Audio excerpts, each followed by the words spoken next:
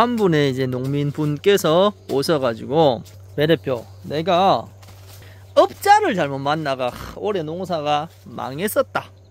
작년에는 나왔다 잘 됐는데 올해는 아무리 해도 안 되더라. 내년에는 내 배 대표랑 한번 같이 해보고 싶다. 이렇게 표현을 하셨었어요. 저는 과연 그 말을 들으면서 어떤 생각을 했을까요? 첫째, 작년은 좀 더 더 건조한 해였습니다.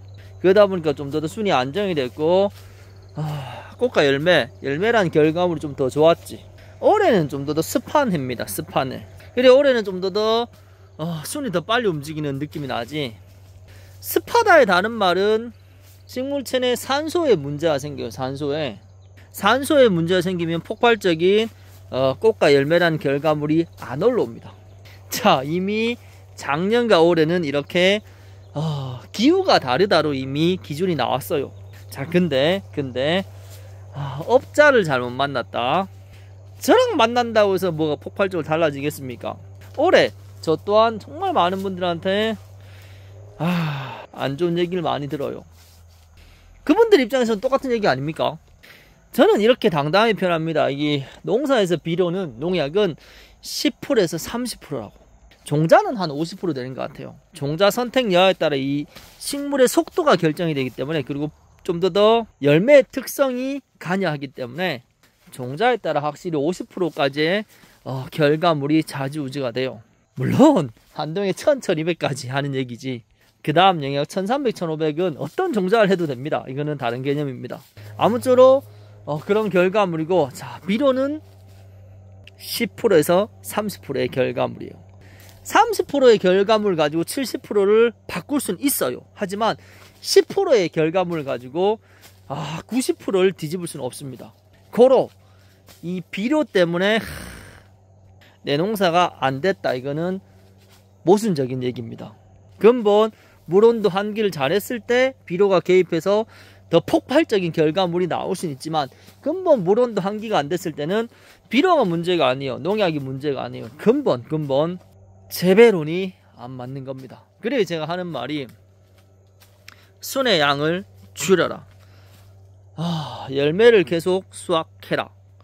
1, 2등 시세를 받아라. 이게 돼야 된다는 거지. 순을 줄여라. 이거는 끝끝내 물온도 한계입니다. 꾸준히 수확해라. 순 관리, 열매 관리입니다. 1, 2등 열매를 어, 생산해라. 그거는 비료입니다. 먹입니다. 이해가 됩니까? 근본 시작은 물온도 한계입니다. 그리고 순 관리, 열매 관리. 끝끝내 마지막이 비료입니다. 이거를 이해를 하고 인정을 해야 되는데 안 그렇잖아요. 지금 지금은 이제 끝자락이라서 어차피 이렇게 흘러가는 겁니다. 이걸 가지고 뭐 뭐라고 그리고 뭐 색깔이 나니 안 나니 열매가 있니 없니 열매가 길다 짧다 어, 이런 걸 가지고 막 옳다 그러다 나눌 필요는 없어요. 이미 이마에 왔으니까 그저 이대로 끝을 향해 흘러가는 겁니다. 그렇게 좀 쉽게 쉽게 생각하면 되는 거고 아무쪼록 결론은 그래요. 자랑한다고 해서 여러분 농사가 폭발적으로 잘 되지는 않습니다.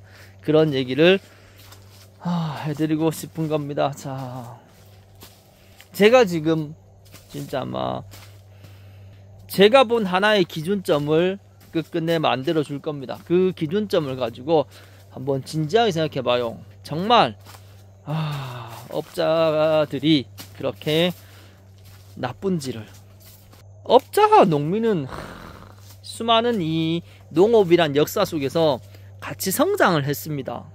그 점을 항상 좀 좋게 좋게 봐주세요. 자, 이상합시다. 하... 저는 조금씩 계속 더 성장할 겁니다. 왜? 성장을 위해서 다양한 이론, 어, 책을 어, 공부를 하고 있으니까. 아, 오늘은 진짜 힘들어요. 아, 자, 이상합시다.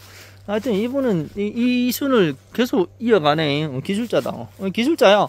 순을 계속 이어갈 수 있다는 건 정말 대단한 겁니다. 이거는 실력입니다. 실력. 어, 이상입니다.